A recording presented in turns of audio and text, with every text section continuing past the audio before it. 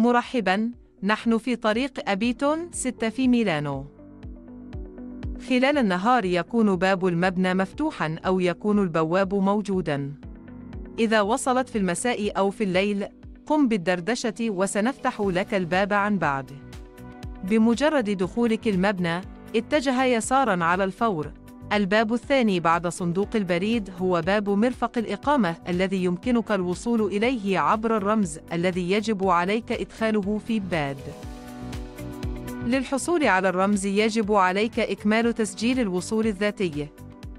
أي أنه يجب عليك أن ترسل قبل حوالي أسبوع من وصولك.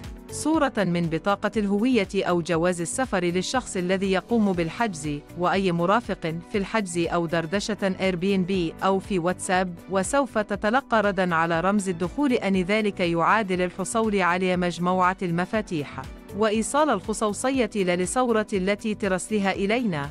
وصورة سيتم حذفها بعد ثلاث أيام من إقامتك. ومستند رقمي يحتوي على جميع المعلومات حول كيفية الوصول إلى هناك. بمجرد دخولك المنزل ستجد غرفتين، غرفة سينتانو الاقتصادية وغرفة سينتودو garden view، وكلاهما تحتوي على مجموعة من المفاتيح المعلقة على الباب، مع مفتاحين، مفتاح الغرفة ومفتاح باب المبنى. تأكد عند مغادرتك أن تعيدهم إلى حيث وجدتهم. ستجد في هذه الصفحة أيضاً جميع مقاطع الفيديو الترحيبية التي تشرح كيفية التنقل في جميع أنحاء المنزل والأسئلة الأكثر شيوعاً التي تمت الإجابة عليها بالفعل.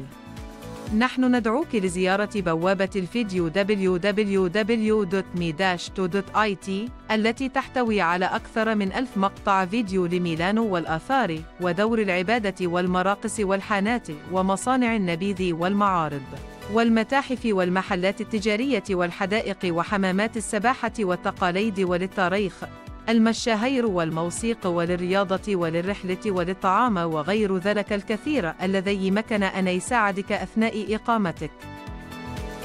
نتمنى لك إقامة طيبة ونشكرك على اختيارك لنا.